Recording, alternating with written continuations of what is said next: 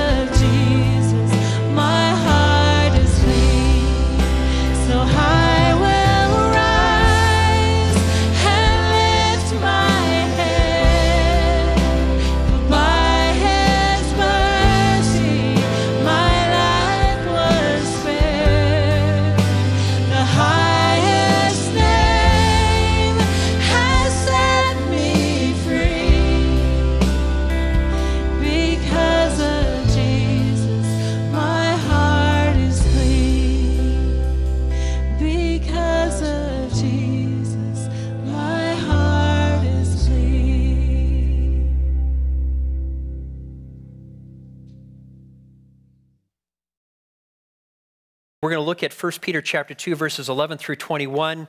Peter here is going to focus primarily on honoring God and honoring individuals.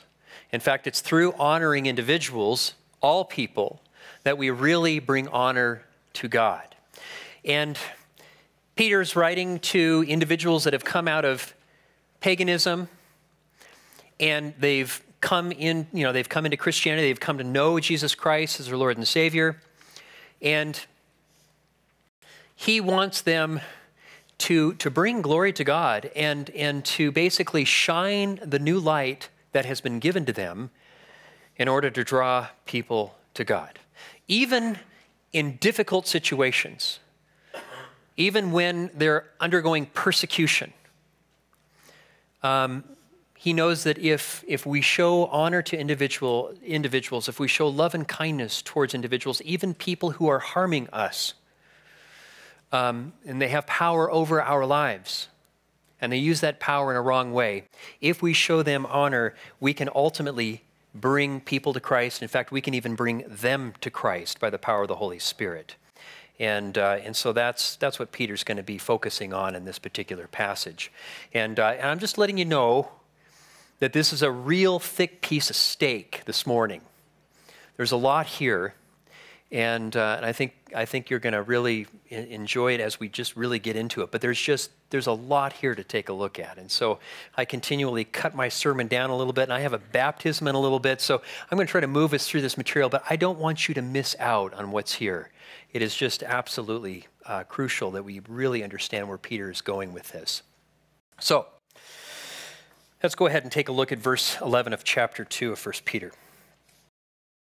He says, Beloved, I urge you as sojourners and exiles to abstain from the passions of the flesh which wage war against your soul.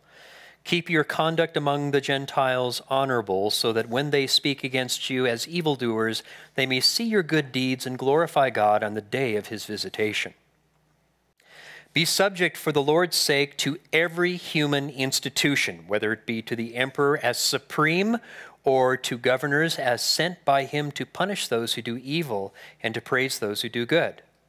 For this is the will of God, that by doing good you should put to silence the ignorance of foolish people. Live as people who are free, not using your freedom as a cover up for evil, but living as servants of God.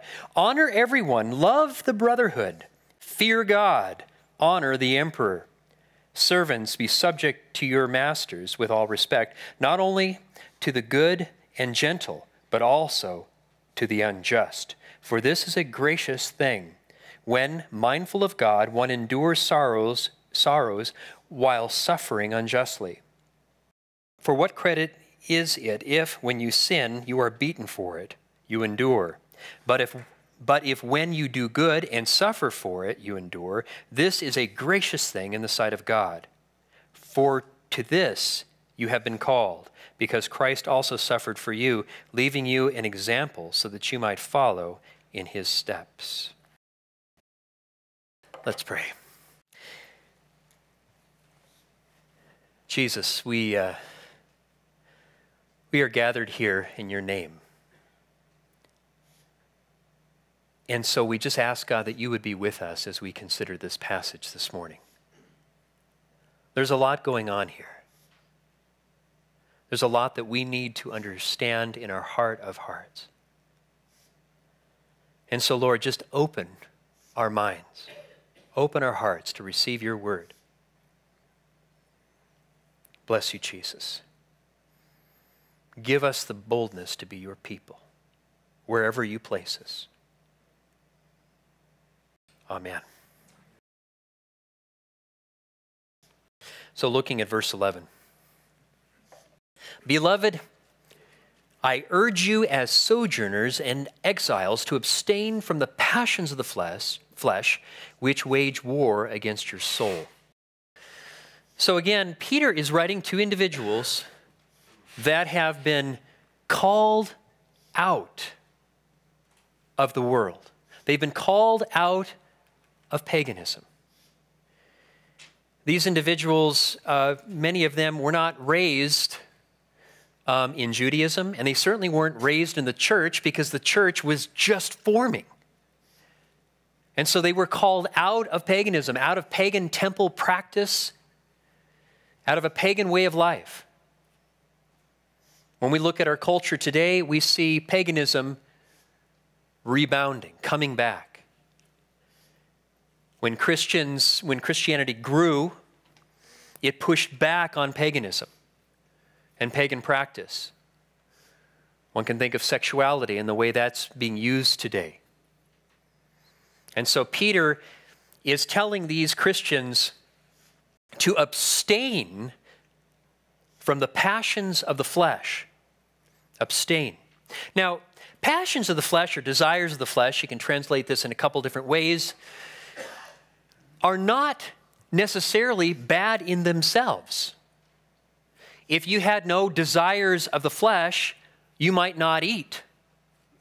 You might just starve. Passions and desires of the flesh can actually be good in the right context. You need them to survive. But what Peter is talking about here are passions and desires of the flesh that have been elevated to where they rule you, where they rule us. And that's not good. Passions and desires of the flesh, again, are good and important, whether they be for hunger, sexuality, and the like. I mean, nobody would be here this morning if there weren't sexual desires. Okay.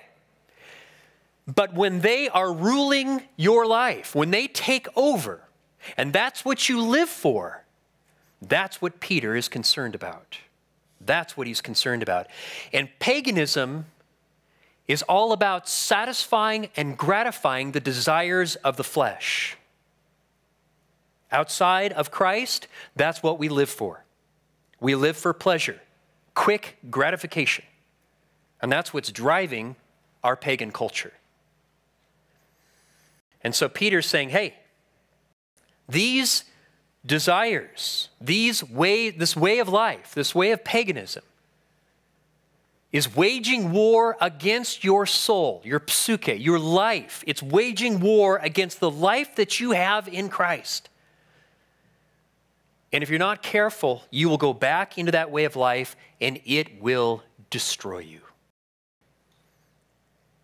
Now, these desires come from within us and are also outside of us, pulling us. Remember the little cartoon with the two little, the angel and the little demon, you know, like sitting on the, you know, they're both whispering into Bugs Bunny's ear or something.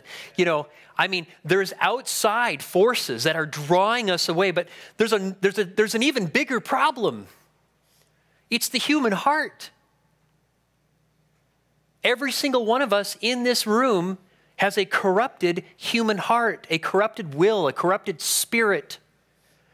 Now, God is transforming that through Jesus Christ. We call that spiritual formation or discipleship as we die to ourselves and live for God, as we invite Christ into our lives.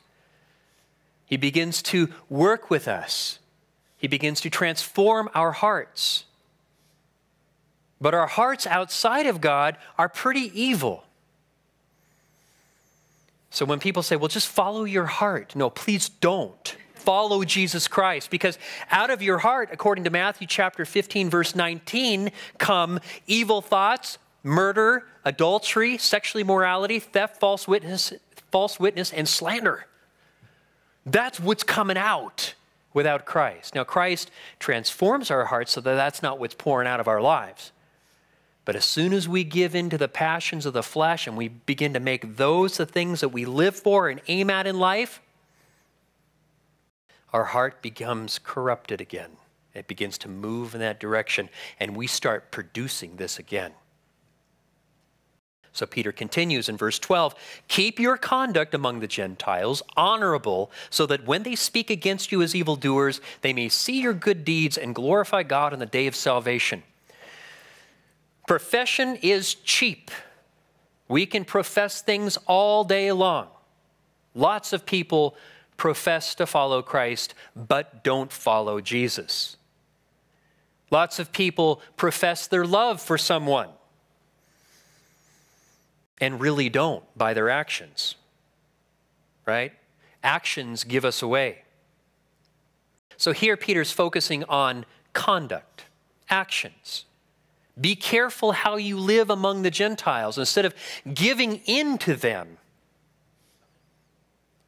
living in a way that draws them to Jesus, living in a way that draws others to Christ. God gives us light. Jesus, who is the light of the world, identifies himself as the light of the world, says, You are the light of the world.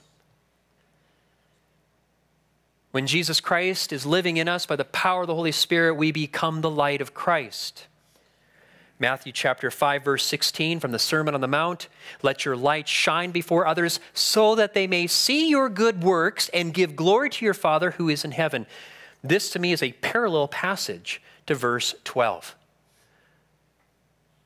I believe that Peter is probably thinking about the Sermon on the Mount when he wrote verse 12.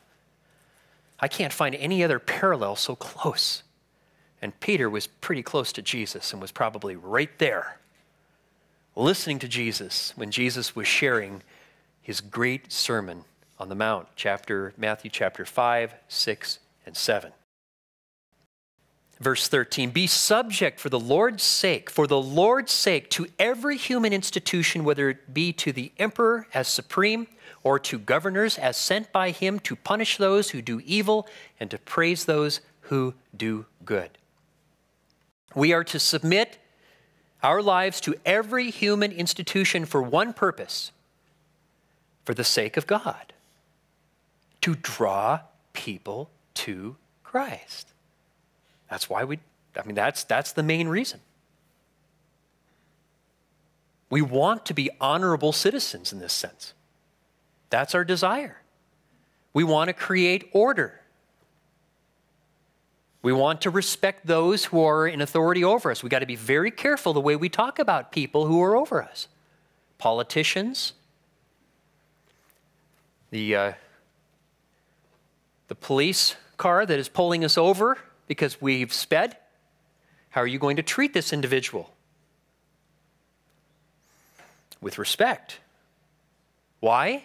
Because for the sake of God, we want to bring honor and glory to God. That's why. This person might not be very nice, might be rude to us. Doesn't matter. We are to bring glory to God. Now, certainly, there are situations in history and situations going on right now. I think about the Christians in Russia. How are they supposed to respond with what's going on? Well,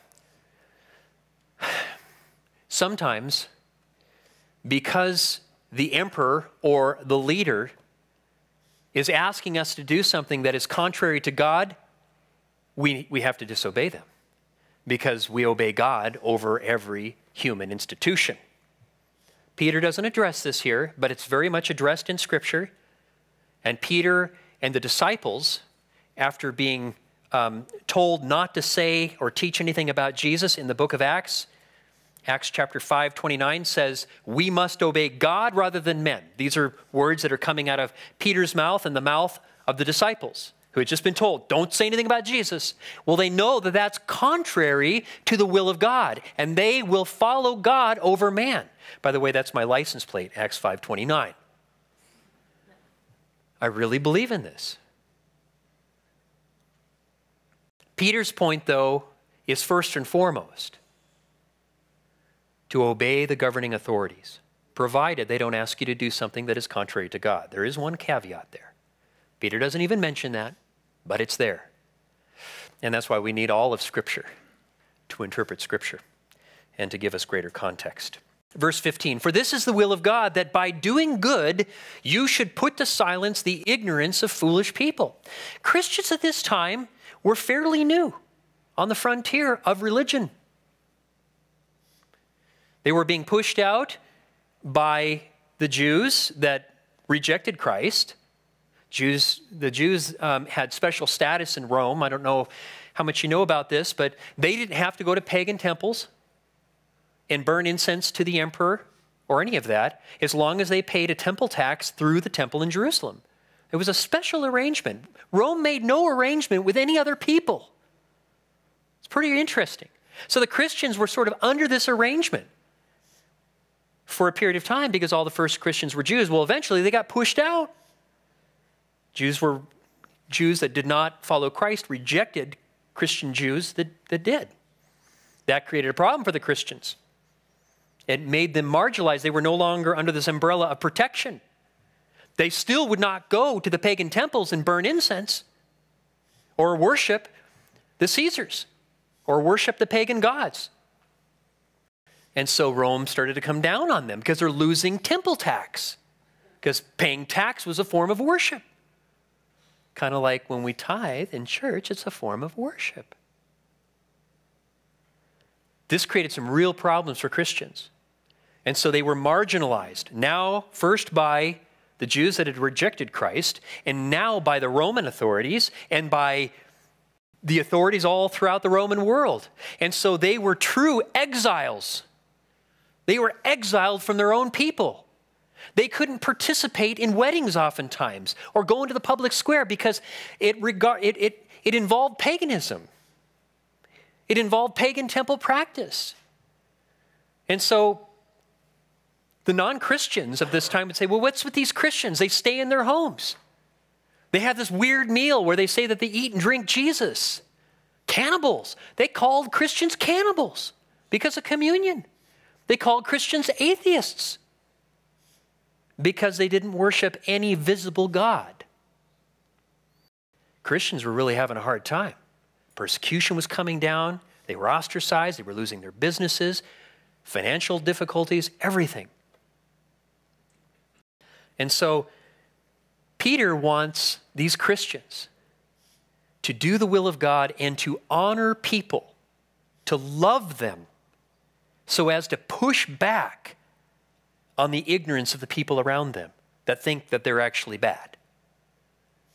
He's saying, show people that we are filled with the love of God, that we love people, that we respect people, that we're not misanthropists, that we're not people haters.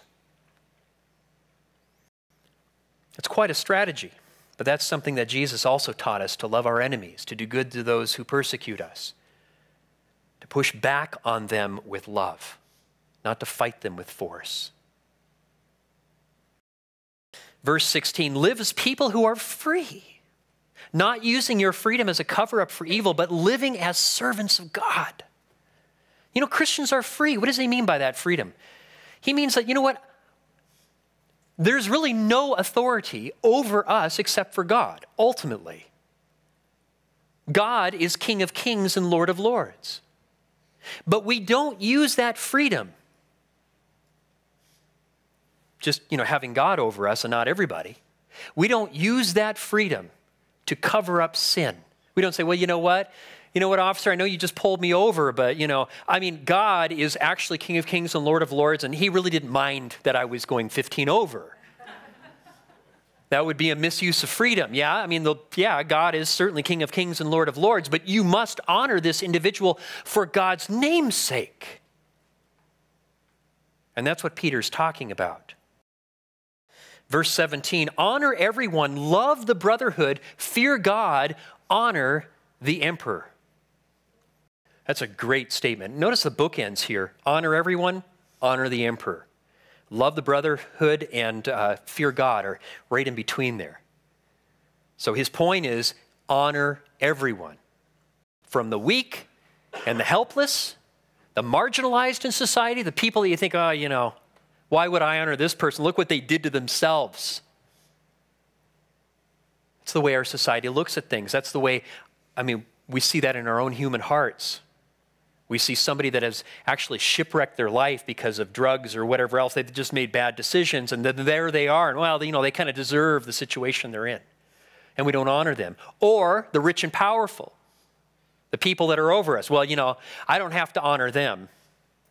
In fact, we sometimes feel jealous for people that have power over us. I wish I had that kind of power. Or we don't like to be told what to do. And so we're tempted not to honor the weak or the powerful. Peter here is saying, honor everyone. Everyone. It doesn't get any larger than that. I mean, that's, that's quite a set group, huh? Everyone.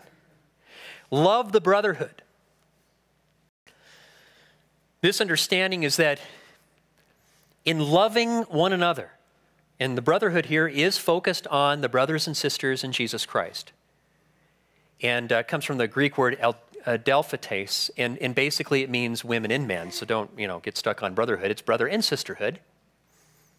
And it means the church. We're to love one another. And why? Because our love for one another, the unity that we will generate in Christ, the caring for one another, what does that show the world? That shows the love and power and grace of God. And that will draw people to Christ and to his salvation. Fear God. Yeah, and that means fear God. Phobos means fear. That's real. That's where we get our word for phobia. Right? It means to fear God. People go, well, yeah, it just means to stand in awe. Awe. No. No. It means it means to fear him. Okay? That's what that means. Um, Jesus clarified that we are not to fear other individuals, but we fear God. Not just stand in awe of him, fear him. In Matthew chapter 10, verse 28, it says, Do not fear those who kill the body, but cannot kill the soul. And these are hard words from Jesus. Rather, fear him who can destroy both body, or both soul and body, in hell. God has power. God is not mean, but he's dangerous we don't cross God. And that's where Peter's going with this fear God. You don't fear people, you don't fear the emperor, you don't fear anybody, you don't fear for your life. You fear God. Why? Because God is God.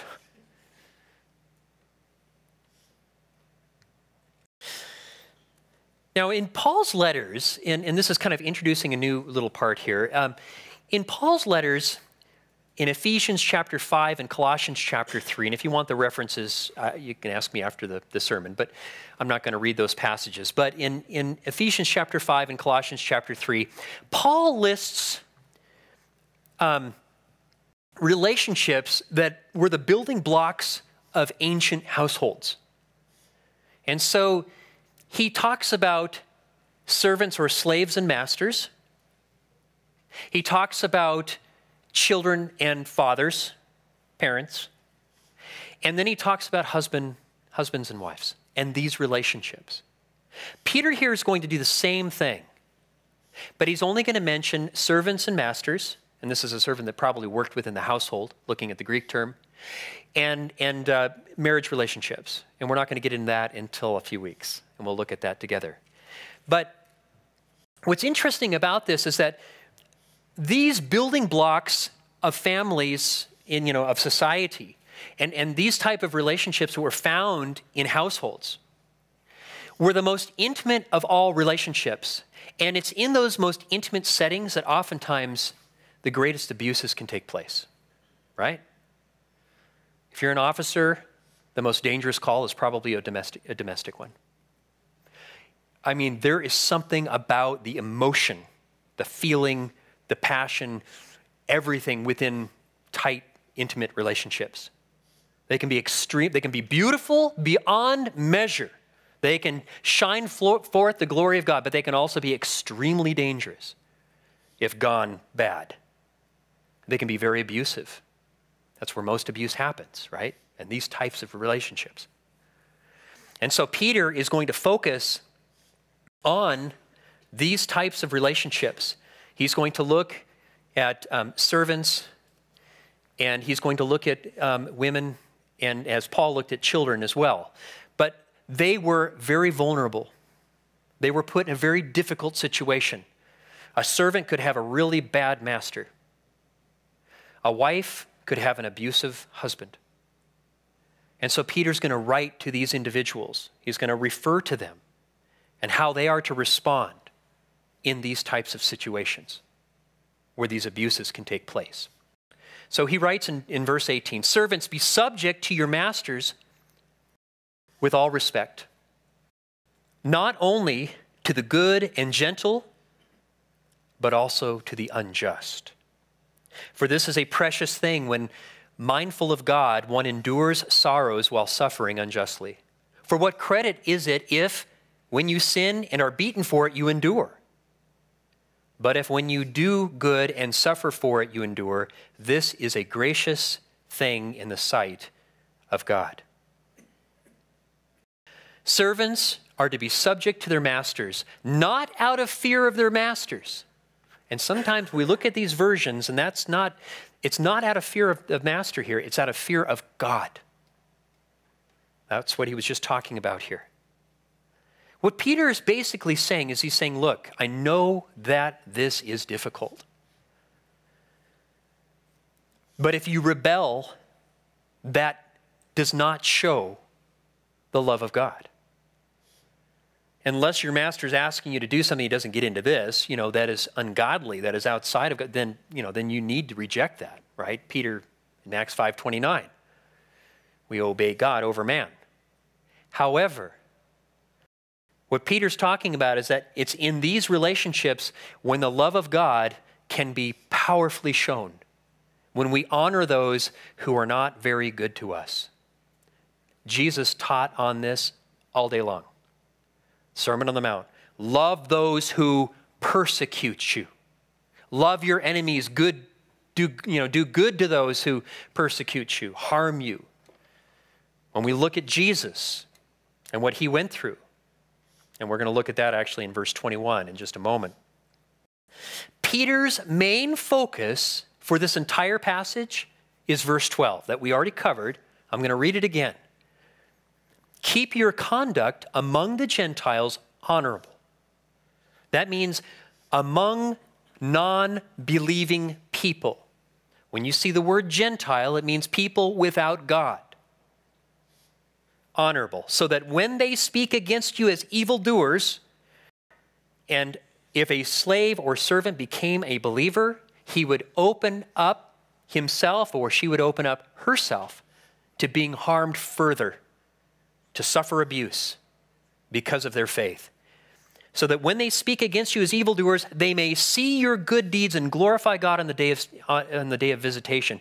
In other words, when we love those who harm us, and it's in these type of situations where most harm can come, when you're vulnerable, but when we love those who harm us, we have the opportunity to draw them to Christ so that they will be transformed by the power of the Holy Spirit, so that when God arrives to judge the living and the dead, they will worship the Lord with us because they will be redeemed with us. When you look at Acts and when you look at 2 Timothy and you see that Paul was excited to go through the court system as he appealed to Caesar because he was a Roman citizen and he was caught in Jerusalem and brought all the way to Rome. He knew it could end in his own death, but he said, Wow, what an opportunity it is to share the gospel in these courtrooms with the mighty and the powerful people of Rome. He was after their hearts. And Peter is telling these servants be after your master's heart. Perhaps it is only you in this intimate context. And I know it's abusive, I know it's hard, but perhaps it's only you that God is going to reach through and rescue this individual and change them in Jesus Christ. Now, this strategy happened again and again and again. If you want to know how Christianity grew, with the weak and the helpless, loving the powerful, honoring them in Jesus Christ's name, drawing them to Christ. Ultimately, Constantine the Great was baptized. Within 300 years, the Roman Empire adopted Christianity as its official religion. It's quite remarkable, the growth of Christianity, not by might, not by power, but by the Spirit of God, through the loving people of Christ. Verse 21 For to this you have been called. He's still talking to servants. For to this you have been called, because Christ also suffered for you, leaving you an example so that you might follow in his steps. Are you ready for what he said? You, you realize what he's saying here? It just dawned on me when I was studying this passage this last week. I'd never seen it like this before. Jesus was God's ultimate sacrifice for you and me. When he died upon the cross, he took away our sin. He took away our his sin, our sin died with him. And when we place our faith in Jesus Christ as our Lord and Savior, that becomes a reality. It's already done, but we need to acknowledge it by faith. What's interesting is that Jesus Christ stepped into a sacrificial system that was already up and rolling and had been worked for centuries, that was given to us in the Old Testament and the law of Moses. Nowhere in the sacrificial system would you take an animal and cruelly destroy it before sacrificing it. God is not cruel. He would never have asked that of the priests. In fact, the sacrifice of animals was very humane. It was kind of like a barbecue. They would kill the animal, they would drain the animal, but it was quick. And then they would roast it.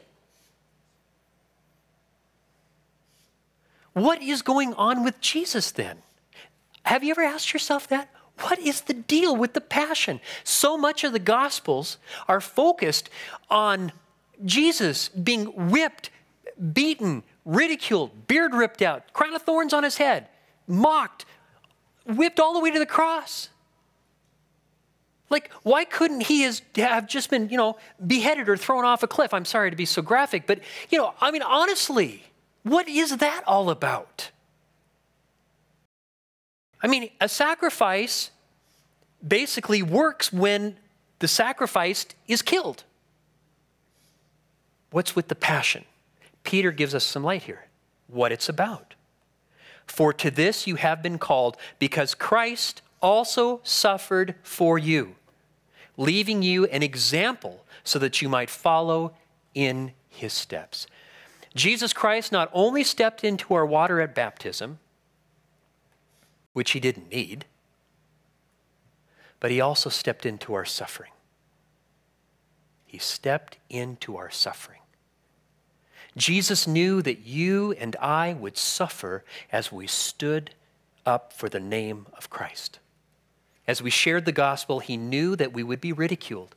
And in some places in this world, perhaps killed, perhaps beaten, perhaps, you know, the more vulnerable we make ourselves, especially going on beyond the borders of our country, the more vulnerable we make ourselves, the more we will suffer like Christ. So Jesus Christ provided us an example, but more than that, or uh, actually I should say more than that, but also he can now relate with us in our suffering. Look at Hebrews chapter 2, verse 10 through 11. This is my last verse here. I mean it. It was right and proper that in bringing many sons to glory, I was reading this, by the way, I was reading this last night on the couch. And I was reading it in the ESV, and then I went to the J.B. Phillips translation. It's more paraphrastic in translation, but I just love the way J.B. Phillips translates this. But I just began to weep it just came over me uncontrollably. It was just, and I, I, went in, I read it to Zoe, and then I went in, I read it to Ava, and then I read it to Trisha. And if Aiden was home, I would have read it to him too. But it was just like, do you get what's being said here? It just blew me away. But listen to this. It was right and proper that in bringing many sons to glory, God, from whom and by whom everything exists, should make the leader of their salvation, that's Jesus, a perfect leader through the fact that he suffered.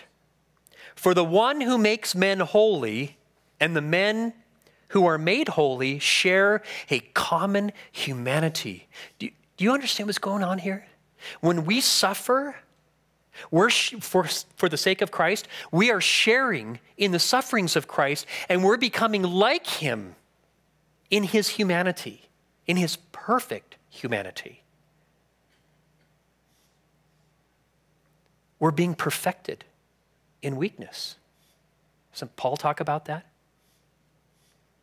Verse 18 For by virtue of his own suffering under temptation, he is able to help those who are exposed to temptation. It's Jesus. Jesus not only gave us an example, but is able to say to us when we undergo suffering for his name's sake, Jesus can look at us in the eyes and say, I know what you're going through. I knew that you would go through this, and I'm, I'm here for you. I will empower you and strengthen you to go through this time of, of difficulty. And it is through this suffering